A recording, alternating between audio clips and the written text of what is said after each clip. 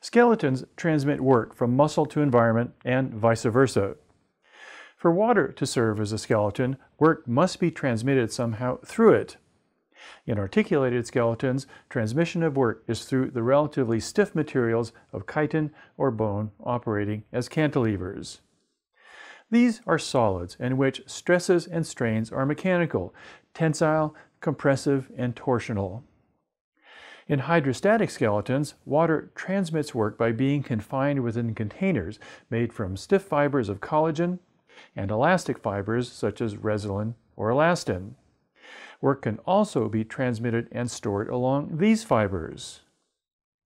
Hydrostatic skeletons are made more versatile by confining the water in fiber wrappings, commonly as a helical winding. Depending upon how these fibers are wrapped, the same muscle can be used to transmit forces that either push or pull.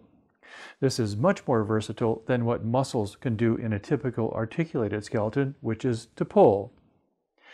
As you watch the videos to follow, I'd like you to keep two things in mind. First, how is work transmitted in any skeletal system?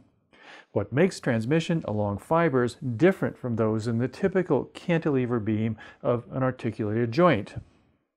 Second, how do fiber wrappings work with muscle to drive organs, like tentacles that can facilitate both pulling and pushing forces?